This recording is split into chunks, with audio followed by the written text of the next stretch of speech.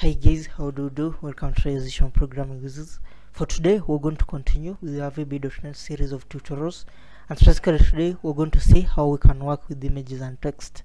Now for us, this is simple. We're going to see these particular images. These are what shall be loading right here into a simple list view. Okay, this is what I'm talking about. I come click fill. You can see we load uh, those particular images. Then we handle our cell content. Click right here for our list view this is our list view right here. Of course we're showing images and text okay? We're working with an image list okay? So guys this is it. This is what we're going to see. Join me. We get started. I require you to go ahead and then create your project come to file new then choose a vb.net create for winforms application. Once we've done that one then let's come over right here in your form.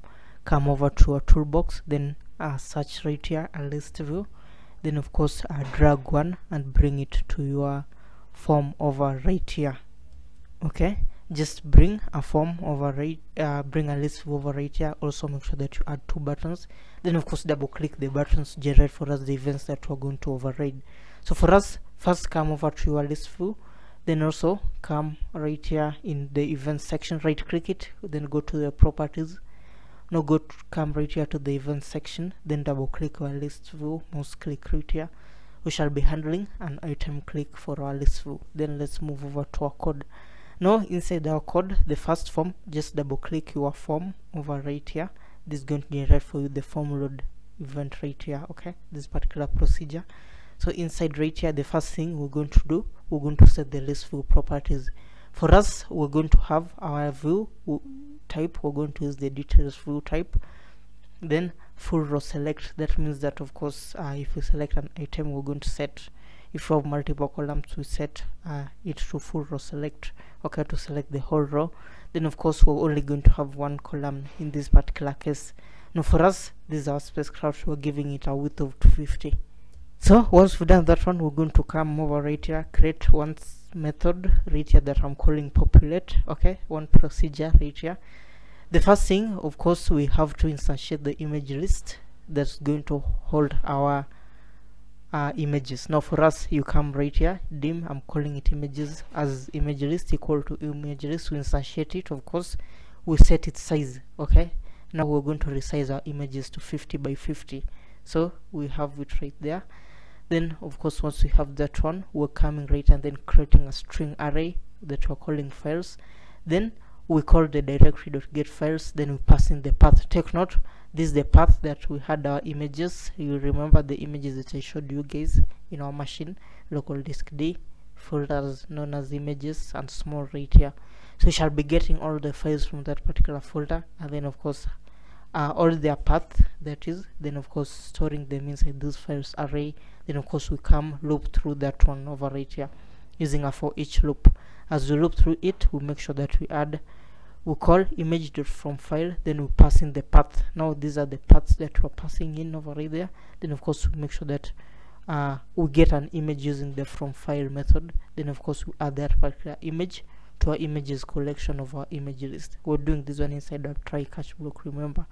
So once you've done that one then of course we come we set uh, our list. We want the small images small image list to our image list right here okay?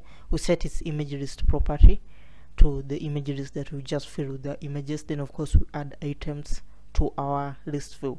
Now take note as we're adding items we make sure that we are passing at the indices here of our actually for our images okay? Remember we've already set the image list so this is going to be the first item this is the second the third up to the sixth. So we have that one. Once we have that one we're going to come right here. Now what of if uh, a user clicks that is clicks a single item in our image in our list view now for us this is going to be simple. What we're going to do is we're going to come for right here and say message simply going to show whatever is clicked. Take note i'm calling select items. This right here is an array. I simply pass the index. Now i'm saying that i want uh, this first row okay that the user has selected selected items. This is going to give us the first row in that particular list that the user has selected. Then we get the first sub item okay the first sub item and then of course its text property is what we're showing. What about if our fill method is clicked? Well we're simply going to call our populate method. So we come over right here call the populate method to populate it for us. Now to clear our list view is simple. We simply come list view one dot items then we call the clear method. Now we call the clear method is going to clear it for us okay so that's it. If we come over right here run our project. Is going to uh, give us our stuff over right here. So yes we have our form.